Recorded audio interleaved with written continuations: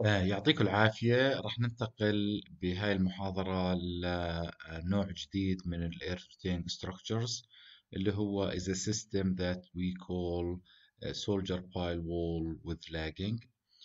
آه، طبعا في تسمية أخرى له بسموه H pile wall with lagging because they use H pile but when we say soldier pile it means ممكن نستخدم H pile وممكن uh, to go with the full concrete. uh, we will explain to you uh, بالمحاضرة هاي السيستم هذا شو هو وكيف بيشتغل. وبالمحاضرة القادمة راح نحكي عن ال design procedure لهذا السيستم. طبعا هذا السيستم هو بداية عبارة عن is a fill sorry is a cut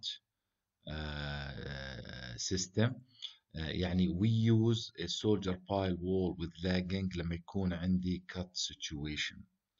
ف it's a cut wall uh, method of construction from top to uh, bottom يعني we support excavation uh, we support the soil before we excavate هسه راح نحكي عن التفاصيل طبعا انه هذا can be used uh, as temporary or permanent walls usually واحنا كاتبين usually we use H piles and we usually drill them or um, driven but most cases they are drilled and uh, it's preferred or most cases انه احنا we have to uh, uh, drill through a rock I will show you and explain to you later on why uh, فعندي H piles are drilled or driven at regular spacing along the planned uh, uh, excavation يعني بحدود الحفرية اللي أنا uh, بدي إياها طبعا كسيستم فيه هو عبارة عن soldier pile wall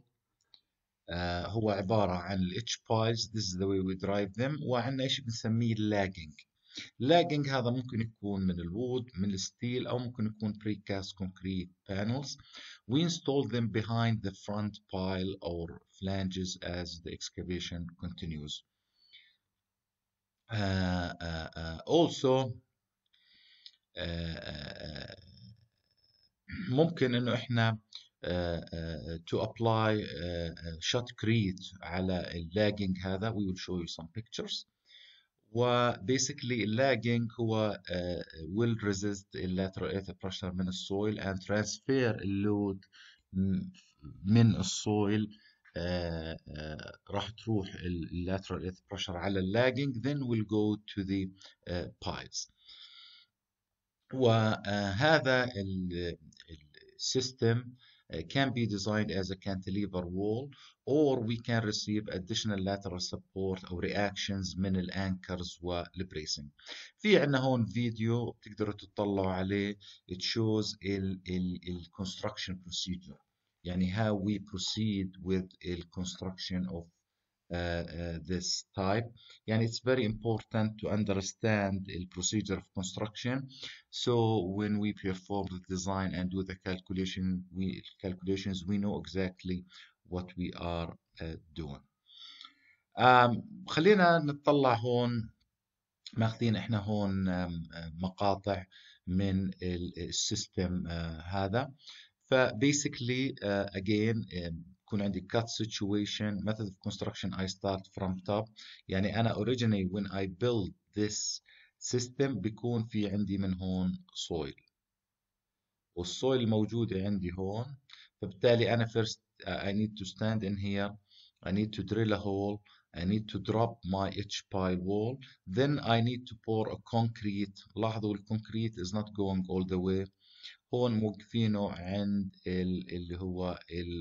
ال bottom of the excavation. هذا needs to be designed لأنه راح يعطيني resistance. طبعا I need لأي نوع من ال design بدي يكون عندي معلومات عن ال soil اللي أنا بدي أتعامل معه. المقطع هذا بورجينا plan view this is the uh, that we talked about here on both sides the plan view this is the lagging شايفين هذا اللاجنج this is the lagging والسويل بيسكلي راح يكون في soil pressure طبعا جاي من الجهة هاي soil pressure will go to the lagging then will transfer لل H pies وراح تكون resistance as you can see here as a cantilever هسا ممكن أنا uh, basically uh, uh, لما يكون عندي ال, ال, height of the excavation عالي ممكن أنا to make use of the anchors here to gain more uh, support أو as a reaction فبالتالي بطل الديزاين is designed as a cantilever فبالتالي هذول they are resisting uh, tension forces بيكون فيهم بالشكل هذا to resist the lateral earth pressure اللي جاي من الصويد بالاتجاه هذا بالتالي هذول anchors uh, uh, basically we use them to gain uh, support وبيساعدوني بحيث انه هذا اقلل من الانفيتمنت طبعا what I need to make sure of انه انا basically when I drill a hole تكون الهول عندي large enough to uh, uh, so I can insert my H pipe و as you can see إذا أخذنا section هون مثلا uh, section هون this is what I will be seeing بالتالي this is my 30 inches hole اللي هي uh, تقريبا راح تكون 70 سنتي for example و this is my H uh, section راح يكون N وهذا this is the concrete. طبعا ال idea إنه إحنا put a concrete here بحيث أنا إنه لما أحسب design uh, وأحسب قديش في عندي resistance بقدر to take ال full pile diameter. يعني هذا كأنه pile بس ال reinforcement الموجودة فيه. بدل ما هي steel reinforcement يكون في عندي اللي هو عندي ال H. طبعا it's هذا السيستم use it a lot basically بالمناطق لما يكون عندي إنه أنا عندي cut through the soil وفي عندي رك قريب بقدر أنا أستفيد منه. لأنه ال depth هذا لما يكون embedded into rock I will get more lateral resistance. يعني بيكون في عندي strong rock here أو لما يكون weak rock معناته أنا I need بالديزاين تبعي I need to play with spacing طبعا uh, if I decrease the spacing between ال, uh, ال both H pies uh, هذول if I decrease the spacing معناته بصير كل واحد منهم ياخذ لود اقل فالديزاين one of the design parameters اللي انا I need to uh, specify it اللي هو spacing between uh, those بالتالي spacing is very important لأنه half of الاسsumption انه half of this lateral earth pressure راح يروح على this one والأذر half راح يروح على this one. فبالتالي أنا إذا كان spacing مثلا بحكي عن 3 مترز راح يكون عندي متر ونص على الجهة هاي وراح يكون في عندي متر ونص على ال السايد الثاني. فهاي الأمور is very important to uh, for you to understand it. فبالتالي spacing is extremely important إنه أنا شو spacing اللي أنا بدي أستخدمه. طبعا إذا بقلل spacing هذا راح يساعدني ممكن ممكن إني أستخدم smaller shafts أو smaller h sections أو ممكن أنا أستغني مثلا عن ال anchors فبالتالي it's back and forth procedure ال design و mainly إحنا we usually go with the cost of the system يعني يعني you need to for the design to create your own um, Excel sheet or spreadsheet and you need to keep uh, trying until you reach something that's reasonable يعني uh, هندسيا بيشتغل زائد انه الكوست تبعته تكون uh, يعني reasonable price لأنه عاده في, في, في انواع الشورينج اللي هو temporary to support excavation during construction أو بالايرث structures. شو نوع ال earth structure اللي بدي إيه أنا أحدده؟ بيعتمد على ال cost فبالتالي بدي أعمل feasibility study ممكن على أكثر من system يعني مثلا بدي أعمل على this system to compare it to sheet pile wall. طبعا إذا كان موجود عندي rock somewhere in here معناته أنا I can't use sheet pile wall. I may go with this uh, system. فبالتالي كل system له uh, طرق استخدام وله سيئات وله حسنات. uh, خلينا uh, نطلع على الصور الموجودة عندي هون. بالتالي أنا هون I am inserting مثلا of sheet pile of uh, soldier pile wall هذول embedded طبعا هذا اللي هو ال level اللي اللي أنا I need it اللي هو مستوى الحفرية فبالتالي هذا it has to be embedded under the ground أو this is the lagging this is the lagging لاحظوا spacing of the lagging طبعا هذا انه during uh, stages of um, uh, installation uh, طبعا بيعتمد على الارتفاع وبيعتمد على انه أنا do I need it permanent or uh, uh, temporary هون more like closer picture لسولجر بايل وول سيستم وهون إحنا مستخدمين two um, angle sections here uh, طبعا at the end of the day أنا بدي اختار uh, steel section based على moment بدي احسب section modulus and I need to use the appropriate section يعني راح يكون ستيل ديزاين وهون أنا مستخدم as you can see anchors يعني هاي رسمتها آه خلينا نشوف هون في عندي anchors هون مثلا في عندي anchors هون في عندي anchors uh, this is lagging. لاحظوا lagging. وهون إحنا مركبين إشي بنسميهم shear studs هون. لأنه هذا السيستم إنه إحنا ما بدنا نكتفي بس في ال في, ال في الوود اللي موجود عندي هون. I will show you pictures إنه إحنا هذول بيكونوا installed بال as you can see here. هذول بيكونوا installed على الستيل section here but then we put uh, steel reinforcement we put geogrid uh, to to um, uh, sorry مش geogrid اللي هي we put steel reinforcement I'll show you الصورة الآن اللي هي الصورة هاي هاي مثلا كانت closer uh, picture لل shear studs الموجودة عندي هون هون ال plywood اللي الخشب هون اللي أنا حطيت ال steel reinforcement ركبته. بعد ما ركبت ال steel reinforcement بعدين بدي أجي and then I need to put my uh, shotcrete uh, خلينا نيجي ناخذ نطلع على uh, closer picture. هون بالصورة هاي في عندي أنا اللي هم ال plans لاحظوا إنه أنا at the end of the day if I perform the design I need to produce uh, plans. فلاحظوا في ال plans مستخدم type 1 2 و 3 يعني بدليل إنه الجدار أو ال excavation اللي هو هي supporting بتغير الارتفاع تاعه. فبالتالي for this one استخدم levels of anchors وحدد ال distance تاعت كل واحد منهم قد إيه مثلا هذا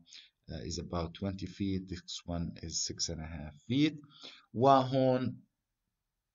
uh, بده يستخدم 3 foot اللي هي about 36 inches drill shaft وهون ال section هذا is shown ال details لاحظوا استخدمها typical في all uh, three uh, um, types وهون uh, في uh, عندي اللي هو uh, حط لها steel reinforcement طبعا most of the cases what they do uh, basically انه they put steel reinforcement بال distance هاي يعني بكون في uh, uh, أو ممكن انه نحط إحنا بس H section أو في ناس they do both they put steel reinforcement و they put the edge section لأنه at the end of the day you need to calculate ال resistance وقديش أنا في عندي resistance وقديش هذا can resist the lateral earth pressure of the soil طبعا هون بالسكشن هذا إحنا مستخدمين uh, one anchor it's about eight and a half uh, deep طبعا هون اللي هو عندي uh, عندي هذا barrier موجود فبالتالي هذا كله below this راح يكون embedded. طبعا هذا apply here here و here. هون في عندي اللي هو ال facing آه هذا آه خلينا to it. هذا بيكون عندي اللي هو ال facing اللي أنا ممكن أستخدم فيه ال steel reinforcement أو استخدم shotcrete وهذا الكلام آه آه كله. هون عندي more details آه أكثر ل لل anchors هذا. يعني إنه ال anchor هذا شو ال details تاعته؟ إنه أنا في عندي اللي هو ال bearing اللي هو هذا ال bearing وهون اللي هو ال head of the anchors وطبعا انه إحنا دائما بال anchors لما نحكي عن maybe next type of earth retaining structure. We will explain about the anchors uh, more, show details of the uh, uh, anchors. طبعا هاي details دائما it has to be it has to be part of the plans لأنه basically to show ال contractor هو شو لازم يشتغل. هون يعني standard procedure إنه كيف بتبلش عملية ال construction for those فبتلاحظوا أول شيء بدنا we need to drill ال holes هذول uh, والهولز we need to drill them uh, طبعا after we perform the design we need to start drilling الهولز فبالتالي we drill this hole we move a distance we drill another hole and so on and so uh, forth Uh, uh, نفس الشيء هون we finish drilling the hole بعدين حطينا الستيل section هذا و it has to be uh, in the middle طبعا it has to be in the middle بعدين we need to finish البروسيجر تاعتنا اللي هو either putting the steel مثلا reinforcement pouring the concrete and so on and so forth طبعا after we install ال H section الموجودة عندنا طبعا we drill the hole we install the H sections بعدين we start uh, excavation as we excavate we start installing ال ال ال اللاجنج فبالتالي اللاجنج اشي we do it uh, uh, as we excavate آه طبعا هون آه هي الصورة هاي different انه هون it shows you the procedure انه how we install those anchors يعني إحنا ممكن بلشنا من هون بلشنا نحفر فبالتالي once we reach this level we need to install those anchors يعني ممكن إحنا وصلنا ب level حفر مثلا هون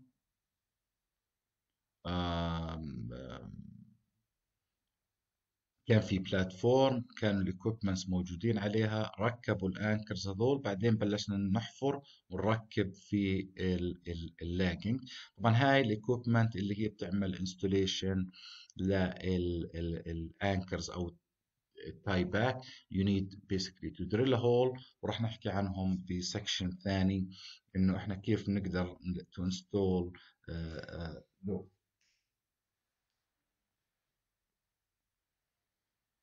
طبعا as you can see انه uh, once we mainly finished the construction everything is fine uh, uh, I can make use of either small road or parking lot or whatever in here. فبالتالي أنا I'm protecting السويل هاي اللي موجود on other side بحيث ما يصير فيها أي kind of uh, movement.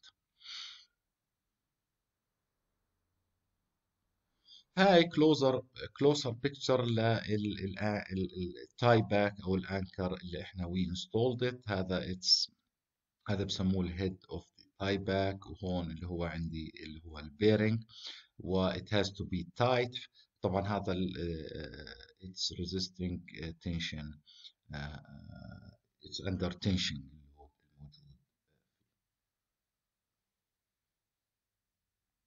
طبعا هون هذول بسميهم shear studs اللي هم إحنا بنركب فيهم ال ال بنركب عليهم الستيل reinforcement إذا بدي facing. بالتالي I'm gonna put steel reinforcement then I'm gonna use shotcrete وأعمل facing of the uh, anchors. أو of the system. هون اللي هو خلينا نقول final product. لاحظوا طبعا ال geotextile material هاي اللي بنحطها. لما يكون أنا basically آه، آه، في عندي آه،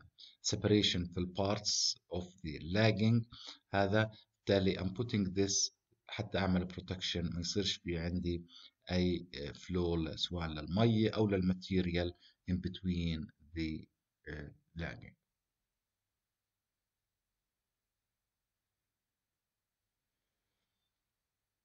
طبعا هاي closer picture to the to what we have uh, in here هون اللي هي pictures the pictures that we showed you before. We start putting طبعا الستيل هذا is epoxy coated steel reinforcement to resist اللي هو الرستنج لأنه أنا بتوقع ممكن يصير في عندي يتعرض عندي هذا للمية. لاحظوا قديش كلوسر أنا بشتغل للبيلدينجز الموجودين عندي هنا. وهذا طبعا is full uh, it's a full protection للبيلدينجز بالتالي أنا ممكن أوصل level below the foundation level of the nearby uh, structures هون عندي uh, uh, different views section elevation وال isometric لاحظوا انه أنا من ال design تاعي انه أنا I need to determine spacing هون this is my H pile this is ال طبعا هاي اللي هي ال hole هون بده يجي ال lagging اللي هو موجود uh, in here. وهون إذا بنطلع عليه هون هاي embedded under the ground poured with uh, uh, concrete. وهون اللي هو الديتيلينج اللي أنتم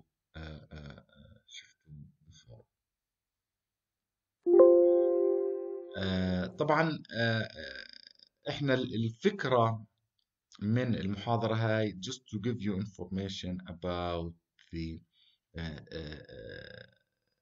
system. Uh, again, it's very important to watch this video just to get a feeling, understanding of the system.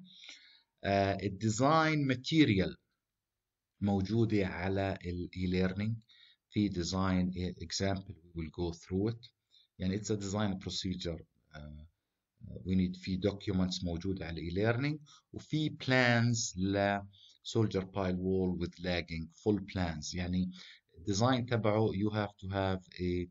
a design report full calculations uh, uh, sizing or spacing all the parts of the system then the plans you need to produce plans to show a setup of the system وهذا كله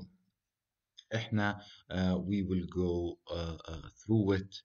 بالمحاضرة القادمة فأجين مع السلايدز هذول please go to the e-learning download the plans and the design uh, uh, documents uh, in there شكرا لكم ويعطيكم العافية